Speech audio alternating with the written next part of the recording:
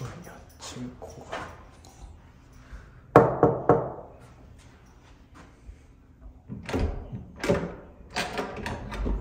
おどうもーお疲れ様です。ちょっと今お時間大丈夫でした？今夜だけどいいね。あのお時間取れるようであればちょっとせっかく来たんで。ねすぐ終わる。まあまあまあそんな時間かかるものではないので。のいやもう明日も早いからさ。あじゃあちょちゃちゃっと。ちょっと終わらすのであれ？そういえば今日今大阪ですけど何かこっちに来る様子とかだったんですか？案件とかっていうのは。あ今一応そうっすね。あの大阪に今一応事務所があるんですけど。うんうんうん。あのまあ打ち合わせとかあとまあなんかあの今後の流れというかああら来年とかの。あそうそうそうそう。結構今いろいろ授業やってて。今忙しくて、で格闘技と、まあ、両立してる感じですかね。うんうん。まあちょっと自分もいなかった時間があったんで何されてるのかなっていうのと。うまあちょっと今日あのまあ久々のオフって言ったらあれですけどまあそういった簡単なものだったじゃないですか。んうん。まあちょっとそういったものでお時間取れそうだったのでまあちょっと今日あのインタビューというかあのブレイキングダウン10も始まったじゃないですか。あ始まったね。もうオーディションも。はいはい。なんでちょっとそのお話とかもできればなっていうので。うん。すぐ終わんの。まあちょっといろいろこちらであのお話しするものを考えてきたりとかしてきてるんで。まあそこまで時間はかからないかなと。明日早いんだよね。明日ちなみに何時ですか？聞いてないんですけど。明日何時だっけな6時とか。めちゃめちゃ早朝。6時に起きてとりあえずなんだっけ明日京都のパチンコの来店イベントがあって、うんうんうん。であの3店舗回らないといけないんですよ。あーちょっと話聞いてましたねそれ。そう3店舗回ってで、まあ、実践はないんですけど。うんうん。なんか実践じゃなくなんかところどころ回って回ってなんか写真撮影みたいなのはちょろっと聞きましたけどその件ですかね？そう写真撮影してあとなんだっけあのサインとか書いて、うんうんうんうん、まあでも実践ないからまあ稼働としてはあんまり時間はすぐだから楽な方なんだけど。うんうんうん。まあ朝早いから。まあ朝早くちょっと出て、まあ、昼ぐらいにはもう開始っていう形ですかねあと京都は意外とねあのちょっと不良が多いんで ちょっとそこら辺がまあどんなやつが来るのかっていうのはちょっとね、うん。面倒だなっていうのとあと久しぶりに 日健君と会うからうん。日健君も来るんですよ、あそうなんですね。うん、もう結構最近一人で動かれることが多かったんでもうてっきり今回の案件も一人なのかなって考えてましたけど今回人気さんもいらっしゃるんですね。日健君も、いる、で次の日が次の日つうかそのあさってか。うん。あさってが一応静岡の浜松ってとこで。ああはいはい。え結構遠いこと。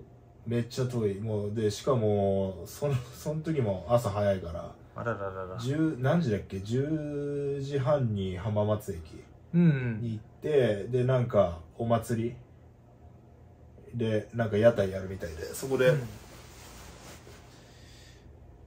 ねなんかあのー俺販売するみたいですね。なんかビールみたいな。俺ビール出したんですけど。あそうそうそう、あまあそれはちょっとあの私の方でもちょっと触ってるのでうん。内容は分かってるんですけど。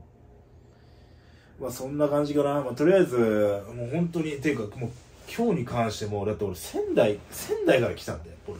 仙台でまず何やってたんですか？仙台であのもう試合近いからあの練習で練習してうん。でもう朝一で大阪来てうんうん。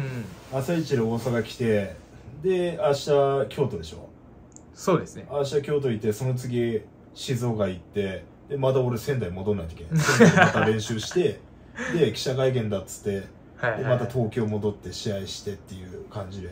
え俺え何？どうなってんの？みたいめちゃめちゃ鬼ハードじゃないですか。なやべえ本当に。半端ねえもう体はもう一個じゃ足んねえからね。最近ちょっとやっぱ睡眠時間がちょっと足りないなっていう。のでもう本当に 最悪っすよ本当に。今日もちょっと後半眠そうな顔してましたからね。ぶっちゃけ言うなよ俺寝てたから。寝 寝てたから。いやちょっと危ないなって見ながらちょっと話はしてましたけど。そうそうそうそう危なかった本当に。うん。まあでもそれぐらいあの動かれてるっていうかやっぱり大変な部分がやっぱり出てるのがまあ今人気な証拠でもありますからね。あじゃあちょっとそろそろあの本題に入らせていただければなって思うんですけどあはいはいはいはい。まあ今回あのブレイキングダウン10あの始まって結構あの慶之助さんでしたりうん。あのいろいろ問題がこうバーンって出てきたところがあったと思うんですけどあの十二人気さんなりにあの今回その全体を通していかがでしたでしょうか？あオーディション？そうですね。オーディションねうん。まあ全体通していやなんかその俺もねブレイキングダウン4でしょ？4、はいはい。4、5、6、7、8、9、10で、え待ってよ。4、5、6、7、8、9、10、7回目なんですよ。うんうん。やばくない？オーディション7回いや結構出てる。よ ねね、オーディション7回参加してんね俺いねえぞそんなやつなんか。米尾さんを抜いたぞそのオーディションの参加で言ったら。うんでも結構ここまで出れてるっていうのもやっぱり結果残してきてやっぱり最初のねあの KO とかがあってまあ最初弱かったうんぬんって言われてたけども。でもやっぱり今はもうねあの特攻隊長のお話とか出すと。ね。うんやっぱりあれから成長したなって思う人が多いんじゃない？まあ最近やっぱ思うのはそのもうテイストが徐徐々に変わってきてて最初なんかそのまあ不良というかその喧嘩自慢というか、うん4の時はそうだったんですけどそっからなんかあの4から徐々にこうエンタメ枠になってきたんですよね、うんうエンタメん枠になってきてで徐々にエンタメ枠が今いなくなってきて喧嘩自慢になってきてるの、うん。そのなんか流れが変わってきてて。なんかもう今喧嘩自慢っていうかあの最初なんか東北関西関東グループみたいなのでいろいろ始まってましたからね。動画で確認した時は。そうそうそうそう。あまあ関東だね。関東と、まあ豊橋とかいろんなとこ。うん。全国でいろんなとこでやってて。でなんかエンタメ枠が全然いなくて。なんかもう最近のブレイキングダウンってなんかもうまあ何でしょう。最初の時に戻ってきたような感覚ですよね。もう本当にやばいやつえ集めてみたいな。えいやほんとそう。だからなんか寂しいなっていうのとあとうんうんうん。やっぱねいろんな人がいるから。うん。俺も正直もう名前も覚えてないしまあ最近結構バカバカななんでしょう入れ替えっていうとあれですけどうん。なんか結構人っていうかキャラが濃すぎていっぱい出てくるみたいな誰が誰なのか分かんないっていうとこありますもんね。いや本当そう。本当にそれ。だからひな壇のメンバーもガラッと変わったし。うんうんでまあ今回米尾さんもいないし。なんかちょっと寂しいなっていう思いと、うんうん。まあでもまあ記念すべき大会だからね。盛り上げないといけないし。うんうん。まあ十人二期にもちなんで10ですからねそうそうそうそうそう。今回。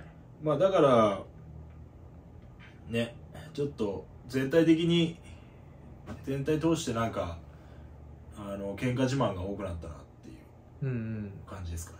なんか。まあでもそううイメージ。言ってしまったらあの本来のブレイキングダウンに戻ってきたっていうのが正しいんですかね。うんうんうん。言ってしまえば。今までが結構そのエンタメ枠とか結構出てきたじゃないですか。うんだからそれ寄りになってきたけども、まあ、軌道修正っていうんですかね。うん。まあそういったものになるんですかね。ちょっとまあ内容まではちょっとよく分かってないんですけど。まあだからあれじゃない？なんかねもう結局なんかひな壇がさ昔ひな壇多すぎとかさ、うんうんうん。あのーもっとひな壇削れとかっていうコメントがめっちゃあったんですよ。ほうほうほう。めっちゃあったのにねじゃあ削ったら削ったら今度なんかひな壇かそってるとか。うんなんか花がねとか。なんか変わり映えがないっていうのは見たことあるよね。なんかそんなこと言って「いやお前らどっちだよ」みたいな。おお前らの要望に応えたら、うん。運営さんがね、うん。運営さんがお前らの要望に応えたやったんだよ。そしたら応えたあげくまた文句言うんかいみたいな。うんうんうん。俺ら頑張ってっからうんうん。マジで。まあね。頑張ってんだよでもやっぱり現場行かないとわからないこともあるしね。そこはあれなんじゃない？やっぱり。見せ方っていうか。まあしょうがないね。うん。でもまあねそれをまあ抜きにしてもね今あの10人2期っていうのがもうそのブレイキングダウン4から始まってまあ今に至るっていう。っていうのはやっぱり見てくれた人たちの応援とかもあるしうん。まあやっぱりその気に入られた部分でもあるんじゃない？そのブレイキングダウンの運営側からとかああまあそれで出続けることができたってことでしょ。そうそうそうそうそう。う んなんでインタビューしてるのに寝てる準備に入ってんだよ。ね。いいいいね。眠いんだよ。せめて顔ぐらいちゃんと見せろ。うん上半身だけ見せろ。でまあそうですね。まあ今回もあのブレイキングダウン10のあのオーディションうんうんとかの動画も出されたじゃないですか。うんはい。でその中でやっぱちょっと見てて気になったのは、まあ、今回のちょっと対戦相手あの溝口さんっていう形でうん。ちょっと決まりましたけどどうですか？心境的には。そうね。いや溝口さんと試合決まったっていうかまあそうだね。みくるさんとのコラボの時に言われてまあちょっとねまあ正直まさかその路線来るかとは思思わなくて、うん。びびっくりしてでやっぱりあの体が本当かなり丈夫な方ででパワーもめちゃめちゃあるんで。うん。でも、うーん、まあ正直、まあ確かに、あのまあパワーは本当にあるんですけど、うん。まあ技術っていうものに関しては正直俺の方があるかなっていう。ん。でもう。申し訳ないですけど。でもなんでしょうその溝口さんってなんか喧嘩強いっていうイメージなくてね自分の中ではうん、うん。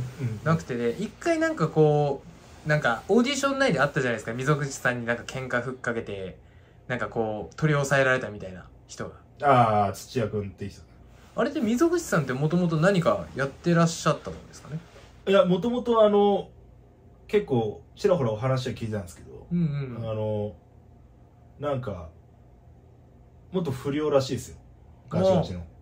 何か格闘技やってらっしゃったとかだよいや、格闘技はやってないんですけど、うん本当の不良だったみたいで。いや結構自分見た感じだとその溝口さんって何か格闘技やってらっしゃったのかなっていうのがあるんですけど、なんかパッと見なんかその溝口さんがどういうキャラっていうかうん。その何でしょう喧嘩ができるタイプなのかなんかそれとも全く違うタイプなのかはっていうのがちょっと見えてこなかったので、まあ、そこどうなんだろうなっていうのもちょっとこのインタビューを通してちょっと聞ければなと思ってたんでい。まあ、格闘技はやってないみたいで、なんか本当素人で、うんもともと喧嘩自慢で、そこから構成して、あのーまあ今に至る経営者としてめちゃめちゃ成功してる方っていうのは知ってるんですけど、まあ、なんかね、うん。なんか、別に、そんなに強くないからっていう。うん。いやでも結構あの乱闘もありましたけど、もうこっちから見てる限りだと一方的にやられてたっていう感じなんですけどそこは大丈夫そうですか？ああまあオーディションで、まあ、乱闘はねしたけど一回ちょっと力確かめようと思ってうん、やったんですけど、まあ、確かにめちゃめちゃ強い半端ないうんうん。マジで強いです。であと結構見た感じだとそのガタイあの差とかも結構あったとは思うんだけどもそこはどうでしょう？試合とかやっぱりそのガタイの差でこうまあ負けてしまうっていうのも多分なくはないと思うんであ結構見た感じガタイにその差があるかなっていうのでちょっと心配な部分はあるんですけどいやまあなんか彼が身長1 8 6センチみたいで、うんうん、うん、で俺1 7 8センチなんですよ。うんうん。で、まあ、8センチ差ぐらい。うん。だでも結構8あるみたいでセンチってで8かい。センチでも結構でかいんですけど。で意外となんかあの牧伊ザヤさんっていう人がいるんですけど、はいはいはい。あの人と、その、向かい合った時に、すまあ、そこまで、あの人めっちゃ身長でかいんですけど、うんうん。そこまで、その、なんかもう、上を見上げるかのごとく、何？身長差があるわけではなかったんですよ。まあちょっと顔をちょっと顔をあげる。上げるぐらいだったんんで、うんうんうん。で牧伊沢さんが183なんでそれプラス3センチですよ。溝口さんが。だからああーまあ、ちょっと気持ちいいぐらい。気持ちちょっと上見上げるぐらいかなっていう、うんじゃああのーなんかエドプロキングさんみたいなこう、はいはいはい。なんかもうこうこんな見上げてあ、うん。無理だわっていうあれはないんで。うん。まあぶっちゃけそこに関しては心配はないかまあ、ガタイがちょっとでかいだけで、な、もうあんまり恐怖心とかもそういったものは。まあないですね。まあでも力が強いのは本当にあれなんで。強い、うん。もう完全に首決められてましたもんね。まあ正直、まあ、MMA じゃなくてよかったなっていううん。のが正直なところで。まあ、今回ちょっとキックで。やるんでしたっけ？あそうそうそうそうキックスでキックなんで、やっぱりまあ、結構10人力きさん自体も結構パンチ力とかも、キック力とかも結構、その慶之助さんの練習でしたり、まあいろんな方ちょっと練習に協力していただいてて、うん。まあ結構上手くなってる部分もあるんで、まあ今回もやっぱりあの KO をちょっと期待されてる方も少なからずいらっしゃると思うんですよ。でまあ今回その溝口さんと試合が決定したっていうことで、まあぜひあの試合の意気込みなどちょっと言っていただければと。あ試合の意気込み、まあ、とりあえずねなんか彼が11月まあ大会自体が11月23なんですけどうんうんうん。あの彼の誕生日みたいなんですよあ、あ誕生、誕生日に、あ、ブレイキングの点がもうあるみたいなんですよあるみたいだ。でまあ偶然じゃあ偶然らしいんですけどほいほいほいほい。でまあ彼の誕生日ということでリングに上がってなんとまあ俺が、まあ、一緒に溝口さんと戦うわけですよ、うんうん。、で、まあ、俺としても光栄ですしうん。で、まあやっぱり、まあ、今までにない誕生日プレゼントを渡そうかなと。まあ、うん要はリングの上で、あのーうん俺が KO し、俺が KO して、溝口さんを、もう KO して、で、もう、顔面ボッコボコにして、で、初めて、多分初めてだと思うんですけど、誕生日を病院で迎えると。おー。わかります？誕生日を病院のベッドの上で迎える。でもそれだけ聞くとすごい悪いやつに聞こえますけどね。いやいやいや、もうそれぐらい、それぐらいやっぱお世話になってる方なんで、うんまあ、みくるさんもそうなんですけど、うん。うん。やっぱそうやって恩返ししていかないといけないなっていう思いがあるんで、まあやっぱりここまで出してくれたっていうのもあれば、うん。まあちょっといろんなところで関わった部分もあるんで、やっぱりそれは勝利を自分の勝利で飾って、ここまで強くなれましたよっていうのをちょっと送りたいっていうことですよね。そう。うんそれはちゃんとお祝いしたいじゃないですか。まあまあまあ。でもまあこれでやっぱり全力でそのぶつかって。いかなければやっぱり相手にも失礼ですしね。うんうんうんうん。いやでもぶっちゃけその、試合に勝てるか勝てないかのちょっと自信もあれなんですけど、どうです？うん。いや、まあ余裕っすよ。余裕で勝てるかなって。まあ今回は、あのーまた対戦カードも発表されたとは思うんですけど。うん、ちょっとインタビュー中に寝ないようにだけ気をつけてね。うん、この状態で寝られても困るから俺。一応僕ね、あのーまあ、前回ブレイキングダウン9の時は超12人気2だったんですけど、うんうん。あのーまあ、ほとんどの人がね、あのー、3って言ってたんですよ。うんうん3になっ3ですよねとか、3になっても頑張ってくださいとか。でも残念ながら3ではないです。僕はゴッドなんで。もう3をかっ飛ばしてのこそう。本当にそうだからただもんじゃないですよ本当にうんうん。まあでもそれぐらい変わったってことですよね。しかもやっぱメモリアル大会なんでうん。それはちゃんと俺もやるときはやりますよまあちょっと他と違う部分があっての思い入れもありますから。うんまあちょっと今回も、まあ、どちらもですけど、まあうん、怪我なくって言ったらちょっとあれですが、まあ大きな怪我なく、あの、ちゃんときっちり全力で挑んでいただけたらと思うんで、いや頑張るっすよマジで。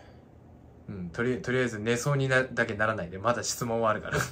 青組 でまあうんブレイキングダウンのことについては今ちょっといろいろ聞かせてはいただいたんですけどうん。まあちょっと最近その住人二期さんって何されてるんですかっていうのをよくあの通行人の方とか結構なんかちょろちょろ質問来るじゃないですか。うんうんまあでもその時ちょっと予定地向かってたりとかですいませんって断ったりとかしちゃうんですけどうん。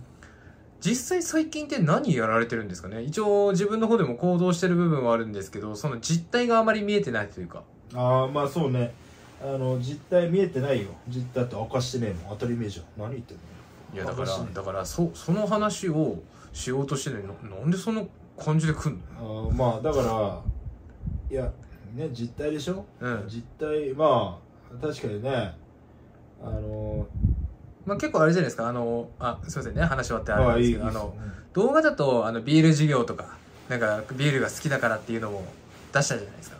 うんでその他だとちょっとアパレルもやってるやってたんですよっていう話もあればオーダースーツの話も過去にしたと思うんですけど今大体事業ってな何をやってらっしゃるのかそのなんか特定ができないっていうかなんかこれ今やってんのかなっていう感じなんですよ今。あーまあ一応そうですね。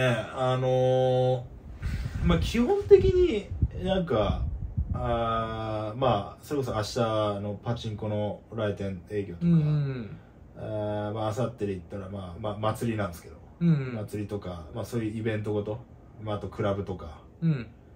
呼ばれていってっていう仕事とあとは、まあ、とりあえずまあ年内中に発売なんですけどあのまあクラフトビール。うん。今やってるんであの作ってるんで自分でほうほうほうほあとはまあライバー事業とか。でまあ来年には、まあ、とりあえずアパレルとかううん。あのオーダー施設うん。うんっていうのを、まあ、中心に、えーやっていこうやっていこうというか、まあ、やっていく予定ですね。まあでも今現時点だと動いてるのはビール事業とライバー事業っていうところですかね。であと後々あアパレルとオーダースーツそうそう。あと案件。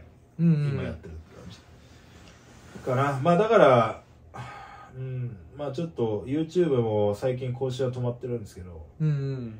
まあ、ほとんどやっぱ練習とそういった仕事が多いんでまあじゃあ来年の目標としてはまあ月にえーまあ、5本ぐらい YouTube 上げれたらなって。5本から8本とか、うんうんうん。それぐらいのペースで上げれたらいいかなってまあそうですね。最近ちょっと自分もその YouTube の撮影で招集かかってなかったんで大丈夫なのかなっていうところでしたけど。うん。頭痛い。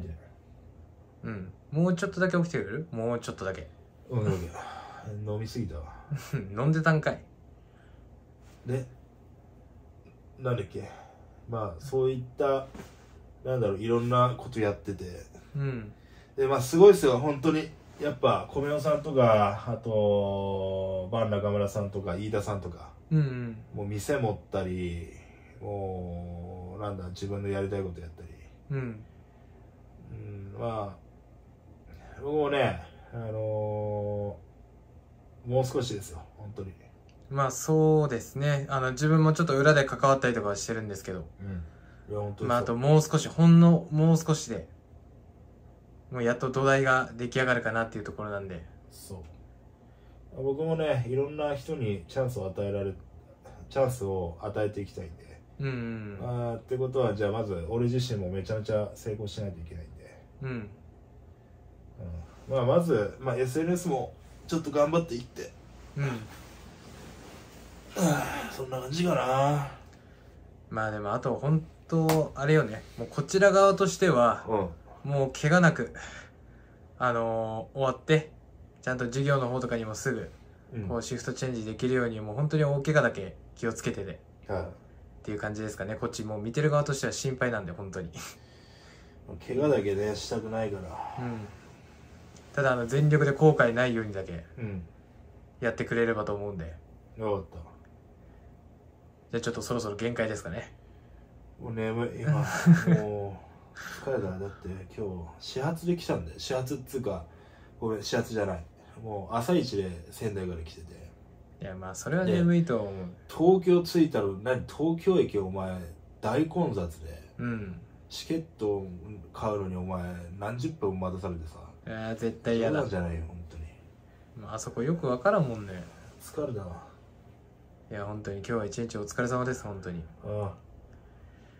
まじゃあ。そんな感じかな。まあそうですね。まあまあちょっといろいろお話聞けたり、まあ最近のことだったり、そのブレイキングダウン10が始まっての、ちょっとお話と、あと試合についての、ちょっと意気込みだったりとかも、うんまあいろいろ聞けたんで、ちょっと俺的にはもう満足なんで、はい。帰ろうかなと。あ帰る OK あともうここには用がないので。分かったあといいよまた連絡してうん。じゃあとりあえず今日はあの、飲ん軽く飲んだのであれば、うんあのちゃんとゆっくり休んで明日あの、京都行くまでにちょっと遅れんようにね。8時20分だよ 早いよまあ、こっちはこっちであの、ちゃんと授業を動かしておきますんで。うんはい。では、まあ、ちょっと自分もそろそろ上がりますかね。はいよろしく、ねじゃあねまあ、とりあえずあの、変なことだけ起こさないようにね。ああ大丈夫あと大丈夫よし じゃあ、お疲れでした。じゃあねおやすみなんだよ、送ってくんねえのこれ。いや俺はもうこのまませっかくここまで来たのに、俺、あるって。早く出て じゃあね。ってよしじゃあ、お疲れ様でした。